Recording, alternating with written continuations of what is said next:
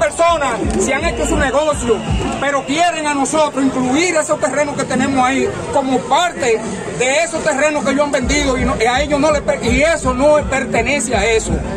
Quieren hacer un negocio turbio, porque ellos quieren incluir ahí, no quieren gente, no quieren gente y nosotros tenemos ahí más de tres años eh, eh, con agricultura.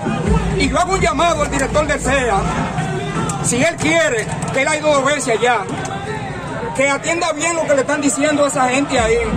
Y si él no tempera y no nos recibe a nosotros, nosotros vamos a ir donde el presidente de la República, Luis Abinader Corona, para que tome carta en el asunto.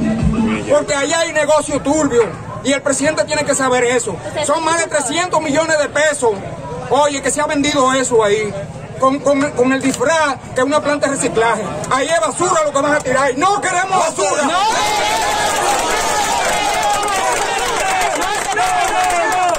Mi nombre es Alejandro Hernández. Y si quieren mañana que vayan a mi casa porque andan persiguiendo a, la gente que, está hablando.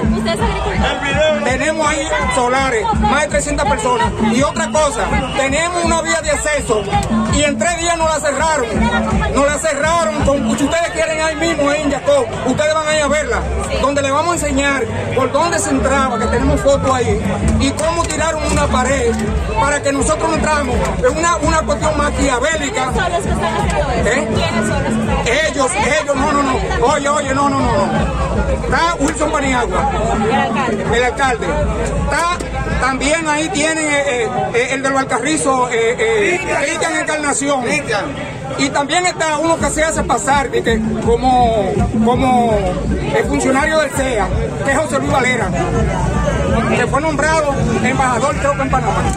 Ellos tienen que aclarar bien esa vaina, porque no vamos a salir de ahí ni queremos plantas de reciclaje ahí. Aquí están los regidores de este...